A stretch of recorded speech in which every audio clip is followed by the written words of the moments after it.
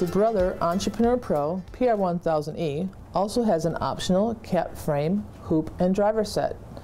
This is the driver. To install the driver, the same rules apply. We're going to loosen and take remove the little screws completely out.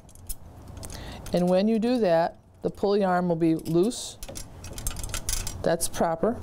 You have two large screws in the bottom. You need to back those down so they become flush with the silver metal plate.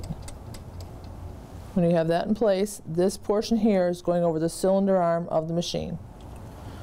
Turn it here.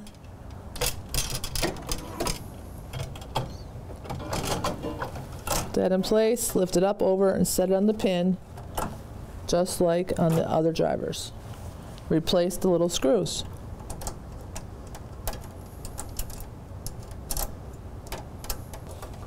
When little screws are in, you want to remind yourself to go down underneath and tighten the little big screws because if you don't, your driver is loose. You tighten the big screws, it will hold it in place.